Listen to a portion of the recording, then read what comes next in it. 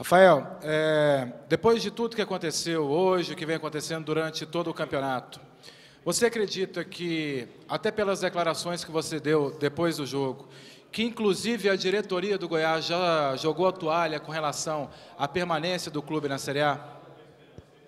Ah, é difícil acreditar nisso. Vou deixar bem claro que meu relacionamento com a diretoria é muito bom, mas minha humilde opinião hoje é que eles foram super infelizes. A gente se fala muito em dinheiro e nós mesmos jogadores não estávamos preocupados. Então, na minha visão, não tinha que aumentar o ingresso. É a opinião minha, não transferindo responsabilidade nenhuma, porque a gente tem que fazer o nosso papel dentro de campo e isso também a gente não está fazendo, mas acompanhando e um pouco de experiência que eu tenho de outros campeonatos, é, nessa fase final, nessa fase que tem que tirar o time da situação, só é com o apoio da torcida. Já vi preço de ingresso a um real, cinco reais pagando meia entrada e um monte de promoção. Então eu não culpo o torcedor porque é realmente desmotivante. A gente tenta, a gente foca, mas quando a gente sobe ali, eu não estou falando isso de hoje. Eu já falei isso há muito tempo e é um dos fatores que nos atrapalha. Fora também a nossa parte.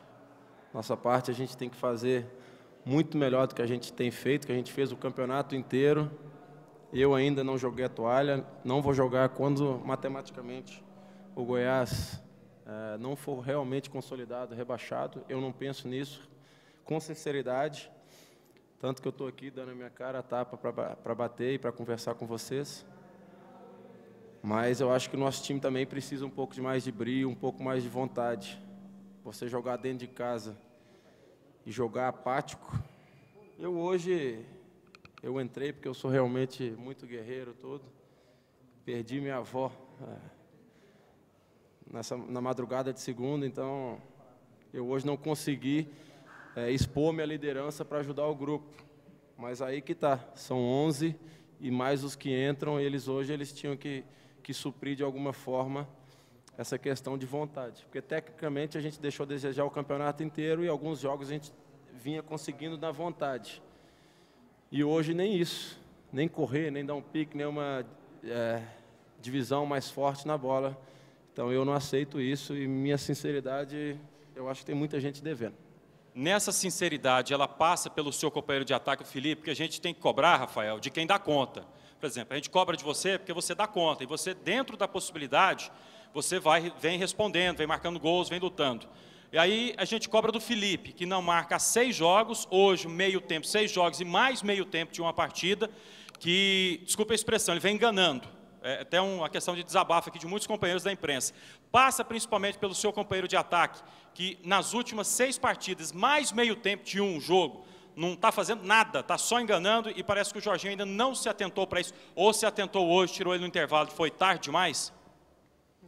Vocês têm se atentado para isso. Eu vou manter a minha ética, mesmo sendo sincero, não gostaria de citar nomes, não estou em cima do muro, mas vocês são inteligentes o bastante para entender o que eu disse na minha resposta anterior.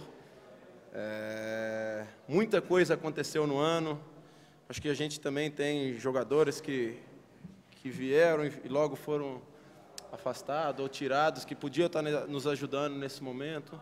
Então, um ano todo errado de briga política, de jogadores não rendendo. Eu estou me incluindo nisso, porque também das últimas partidas que eu engrenei realmente. E é difícil você falar, mas é, Felipe, acho que outros jogadores também, mesmo se tivesse oito jogos sem marcar, poderia pelo menos ajudar de uma outra maneira, com uma disposição a mais, com uma vontade a mais.